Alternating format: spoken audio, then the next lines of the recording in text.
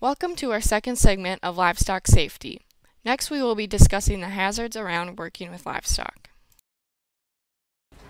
As mentioned in the previous video clip, understanding animal behavior is the first step in working with safely with livestock.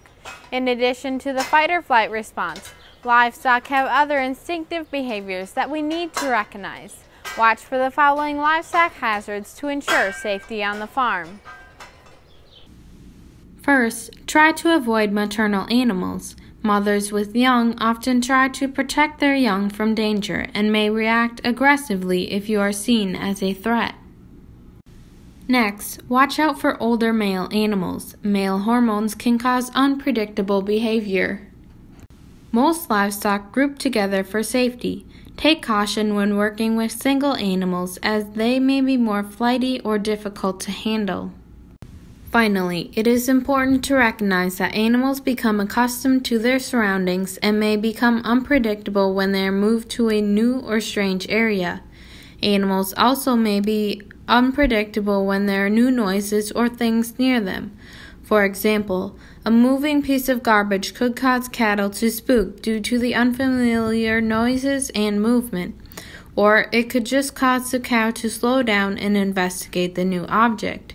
Since animals can behave differently to hazards, it's better to be safe than sorry and keep an eye out for any and all potential risks.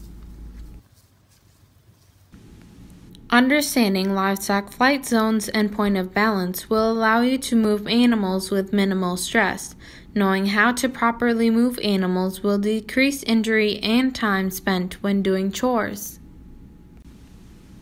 The point of balance for animals is their shoulder. If you are in front of the shoulder, they will go backwards, and if you are behind the shoulder, they will move forwards. Using the point of balance when working with large groups of animals is important because it prevents a fight or flight response. Using a quiet voice and moving animals in a well lit area is the best way to keep them calm. If an animal or group does become agitated when working with them, make sure to wait at least 30 minutes to work with them again and make sure it is longer for any animals that may be hazardous. To ensure your personal safety as well as the animals on the farm, be sure to keep an eye out for hazards and use strategic movements to keep animals as calm as possible.